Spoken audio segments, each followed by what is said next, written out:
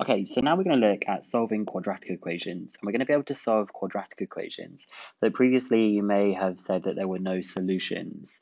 Um, so it's going to open up some different kinds of equations we can solve here. So I just wanted to talk about some of the stuff to do with notation. So I've written here, just as we tend to use x as the default real numbered variable, so we use x for when we just think it's like a regular kind of number, and we tend to use n for when it's an integer or a whole number, what we do is we use the letter Z or sometimes W as the default letter for complex numbers.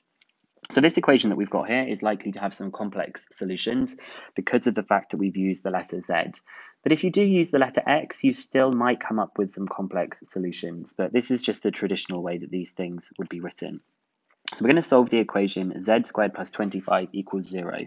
Well, pretty straightforward here, because what I can do is I can actually just subtract 25 from both sides, and then I can take the square root of both sides so that I get the plus and minus square root of negative 25. Now, obviously, we're going to then be able to simplify that because the square root of negative 25 is just 5i. So we get the two solutions are plus and minus 5i. Now, you might be thinking to yourself, why am I doing plus and minus here, but I didn't do plus and minus over here? Well, the reason is because there's no symbol here outside the front saying plus and minus, and so technically, if there's no symbol outside the front here, it just means that it's going to be positive. If there was a negative outside the front, then there would be a negative 6i. So when you look at the one we've just answered, we were the one that decided to do square rooting. And because we decided to do square rooting, that meant that there was going to be a plus or minus as your possible answers. Okay, for the next equation that we've got, we've got z squared plus 3z plus 5, and that one is going to be a little bit more complicated, and I'm going to offer you three different methods about how you might like to solve this. So I think method 1 and method 3 are probably my favourite, but I'm going to start off with method 1, which is to complete the square. So we have z squared plus 3z plus 5 equals 0. To complete the square, we half the second coefficient, so we get 3 over 2 squared, and then we subtract that coefficient squared, so you get minus 9 over 4 plus 5. Hopefully you're familiar with this from normal maths and from GCSE. So I get that z plus 3 over 2 squared is going to be equal to 9 over 4 minus 5. So we'll do 9 over 4 minus 5, which is minus 11 over 4. So we're now going to do the square rooting of both sides. When I do the square root on both sides, I get just z plus 3 over 2. And then I've got here the square root of minus 11 over 4. Now you might like to think of this as the square root of minus 11 over the square root of 4. And remember, these answers are going to be positive and negative because we're the one doing the square rooting. I personally like to think of it in this way because then I can really quickly simplify the denominator.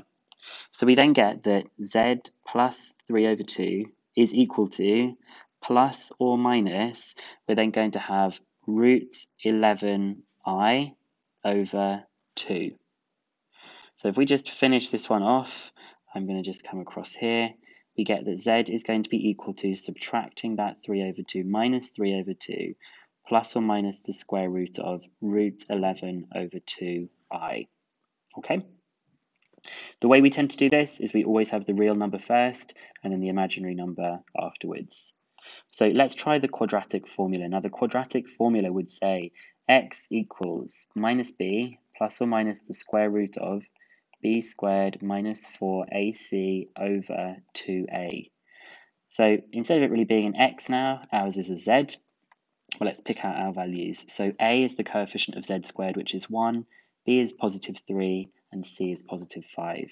So B is 3 and C is 5. So using that formula, we get Z equals minus B, which is minus 3, plus or minus the square root of B squared is 3 squared, minus 4 times A times C, all over 2A, which is 2. So Z is equal to minus 3 plus or minus the square root of 9 minus 20, all over 2. So that's minus 3 plus or minus the square root of minus 11 over 2. So I'm going to now sit, separate it as like this part and this part. So we get the minus 3 over 2, and then we get the plus or minus. Well, root negative root 11 is root 11i, and it's also over 2. Notice how I leave the i separate to the kind of fractional part that we've got here, and we've got the exact same answer that we have. So we're going to have a look at method 3, which is using a calculator. So it's going to show you how you can do this using both the ClassWiz and the, uh, the graphics calculator. So if I just show you the calculator that I've got here, what you might need to do is you might need to go into the menu and you might need to activate the complex mode, which is number two. So when you go to complex mode on the ClassWiz, it then should have a little eye at the top that tells you that it has been activated. Now, if you don't know how to do this, um, if you want to do any calculations with complex numbers, you can press, um, I think, just this ENG button. There's a little purple eye above it, and that tells you when if you want to type in I.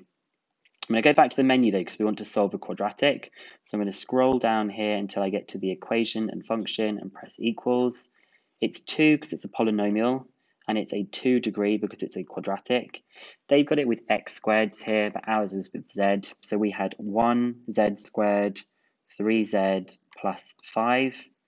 I'm going to just press equals and it should give me my solutions. There we are with the one from that we had earlier. You've got the minus 3 over 2 plus root 11 over 2. That's the first solution. And the second one is just with the negative symbol that you've got there as well. If you keep pressing equals, it gives you some other things as well. It gives you the minimum value and the minimum value of y as well. Uh, but we're just going to try, uh, we're just looking for the roots here. So this is what it would be like for the graphics calculator. For the graphics calculator, you may need to go into the setup. So you go shift, setup, Oh, you have to be in a calculation. Let me just delete some of these crazy things I was typing here. So you might need to go shift, setup, and then when it goes to mode, you just need to make sure that it's in complex mode like this, which is the first one. And also as you scroll down, the complex mode, the one that we want it to be, is A plus BI. We don't want this R theta one. We might talk about that later. So just make sure it's in the A plus BI. When you go to the equation solver, you can then go to polynomial, 2 degree, and we're going to type 1, 3, 5 for the coefficients along the top here. And when you solve them straight away, you'll see those two solutions of the minus 3 plus and minus root 11 over 2. They write it as one whole thing. Personally, I prefer seeing it as the real part and the imaginary part separate to each other. So you are now going to be able to have a go at doing lots of equation solving practice from exercise 1b. Try doing a mixture. Try doing some completing the square, some using the quadratic formula, and verify your answers by using the calculator.